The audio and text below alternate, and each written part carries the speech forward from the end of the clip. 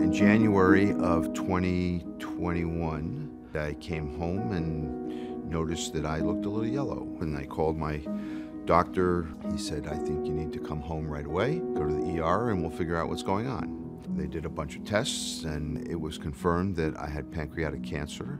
The workup showed that, as far as we could tell, it hadn't spread beyond the pancreas. I like to consider myself to, as a, an educated consumer of medical information. Sasan Roayaie is amongst the best of the best. I told him what he needed to have done, which was the Whipple operation.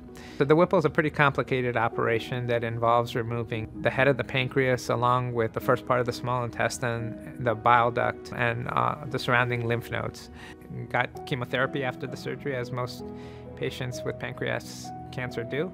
I spent many days here in 2021 getting chemotherapy uh, and also recovering from my surgery, and I marveled at how uh, Sasan Roayaie and Dan Costin integrated their approach. They were always in touch.